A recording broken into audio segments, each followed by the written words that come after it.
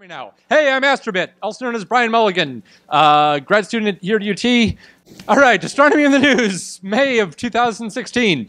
All right, so a group of scientists from the US and China, including former uh, UT astronomer and NSF postdoc uh, like MC, MC Super Dupernova, uh, Dr. Jonelle Walsh, now at Texas A&M, seen down in the, the lower corner. Hopefully you can see it over everybody's heads. Uh, used a radio telescope called ALMA. It is a, uh, a, a telescope located in the Atacama Desert of Chile at about 15,000 feet of altitude. It's been used to make the most precise measurement of a supermassive black hole to date. Um, they measured the speed of carbon monoxide gas. Many of you know carbon monoxide from, from your homes. Well, hopefully not from your homes. uh, the, the, carbon monoxide is orbiting the black hole at the very heart of a giant elliptical galaxy. That's what you see in the, the image here.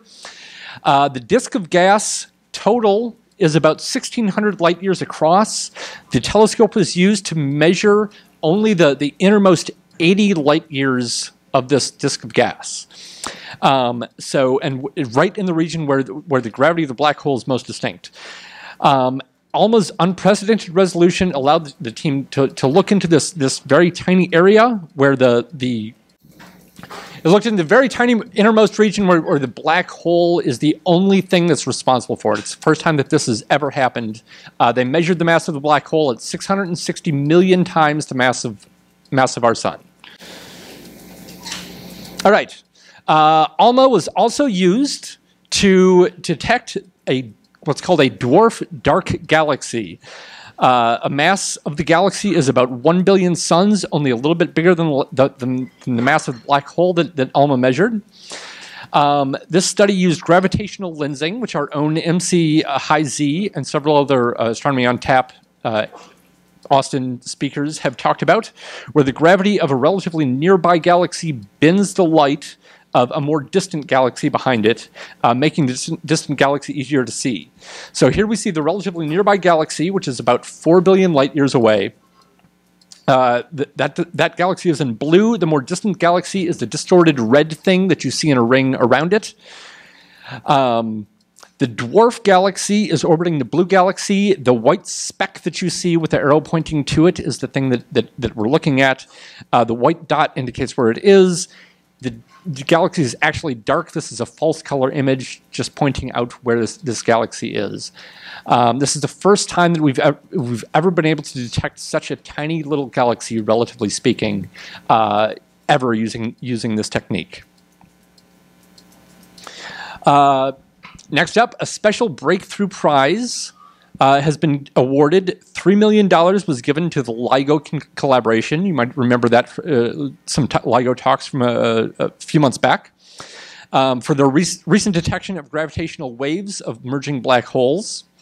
Uh, of the $3 million, 1 million is split between the, the three founders of the project, who are Ronald Drever, Kip Thorne, who's the science advisor on Interstellar, if you've seen that, and uh, Rainer Weiss, the remaining $2 million is split, split between the 1,012 authors who are on the paper, including scientists from Texas Tech, UT Rio Grande Valley, Trinity University in San Antonio, and Abilene Christian University, uh, and former AOT, AOTATX speaker, nullifier of noise, Dr. Dennis Ugolini.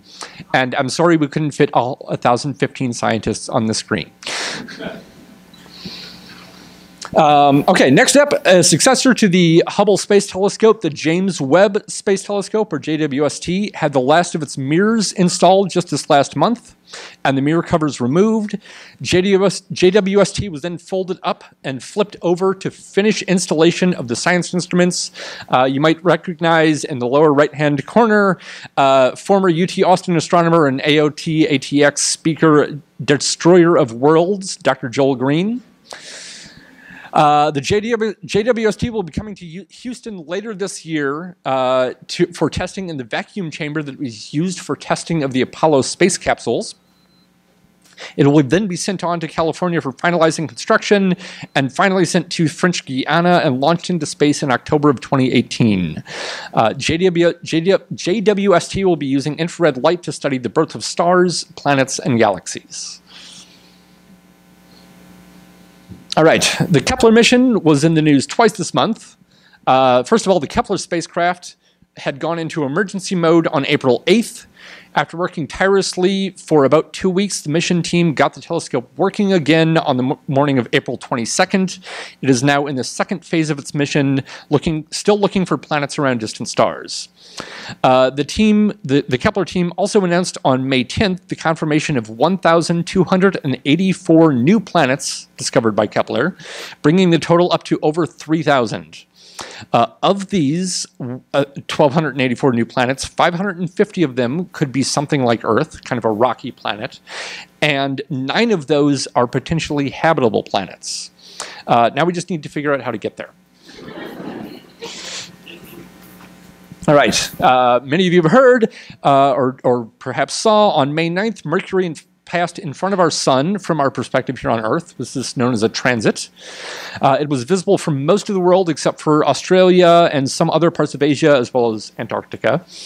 Uh, Mercury transits our sun over dozens, dozens of times each century, unlike Venus it only does so about once every 110 years. Uh, the next transit of Mercury will be November 11th, 2019. It will start just before sunrise here in Austin. Uh, that Mercury transits, transits, the Sun was first predicted by Johannes Kepler, first observed in 1631 by Pierre Gassendi. Uh, the Space Telescope, that now bears Kepler's name, the Kepler Space Telescope, looks for planets in other solar systems by watching those planets pass in front of their stars, just like Mercury did to our, to our Sun. Um, our own Star Party Queen ran a huge transit viewing party on uh, UT's campus. Hopefully, some of you were there and, and saw bits and pieces of it. All right. Uh, the Hubble Space Telescope was used to find another moon in our solar system, this one orbiting the icy dwarf planet Makemake.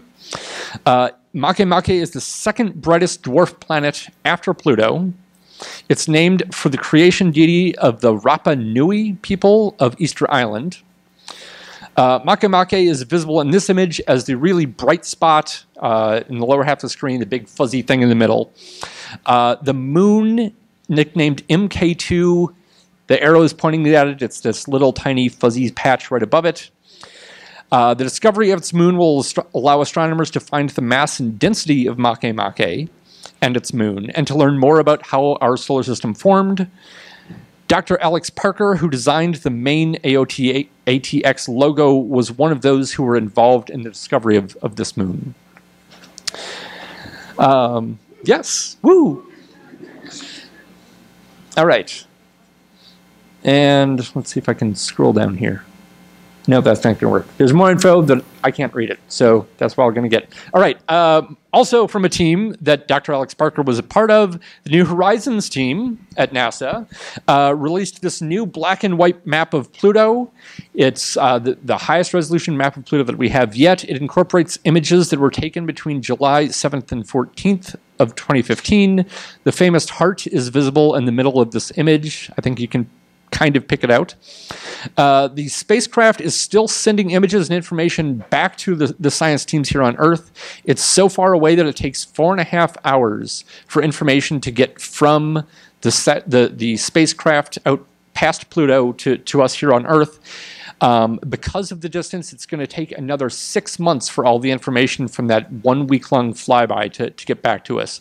The most re recent information included in this map arrived on April 25th. All right, and speaking of hearts, there was a heart-shaped sunspot visible on the sun in mid-April. It erupted into a flare on April 17th. Uh, the sunspot's pretty huge by our, our standards, with a size several times uh, that of the, the entire planet Earth. Uh, the shape of the sunspot is caused by the interplay of magnetic fields within the sun. Uh, sunspots are dark only because they're cooler than the surrounding areas of, of the sun. It's not sucking in light. Uh, most of the surface of the sun is about 6,000 degrees Kelvin or about 10,000 degrees Fahrenheit. Sunspots are a nice balmy 3,500 Kelvin or uh, 6,000 Fahrenheit. Only a tad warmer than summer here in Austin. Uh, no word yet on whether Torchy's is planning on opening up any sunspot locations. All right, and that is it for Astronomy in the News for May of 2016. Thank you.